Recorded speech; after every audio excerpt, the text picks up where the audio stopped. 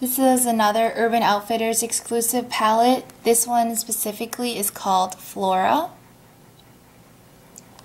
Unfortunately though, I think there's three and my Urban Outfitters only had two of them like out and so I was a little bit bummed that I couldn't get the third one. But again, it's not an actual fabric, it's just printed cardboard. They're about the same kind of size as the other ones. Nice and thin and mini and great for traveling. Again, don't know if it's because it's from an outside like exclusive store, but they never really show the colors. They do label them.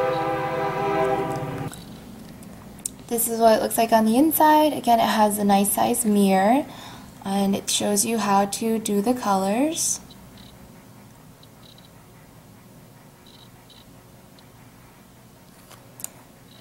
And then I really was pleasantly surprised by this palette because I feel like all the Stila palettes are either like pink shades, brown shades, or purple shades, and none of them have like nice kind of turquoise shades.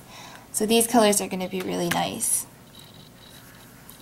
So this one right here is like uh, kind of a light silver, but it has like a blue tinge to it. Wow, and all of these are just swatching really easy, really soft and kind of creamy.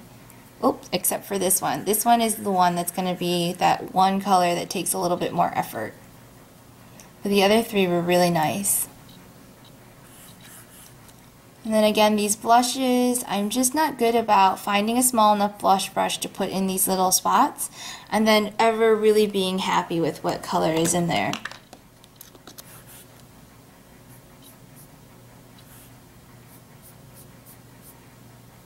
Okay.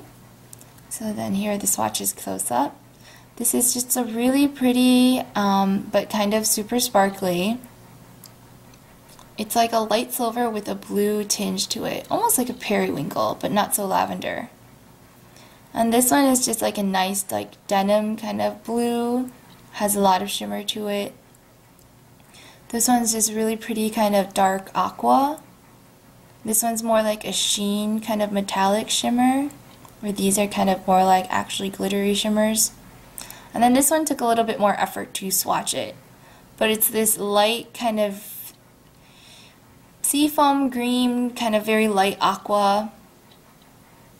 And then of course the two blushes. But just kind of a nice different kind of color palette from Stila, which is what it was nice, exciting to find.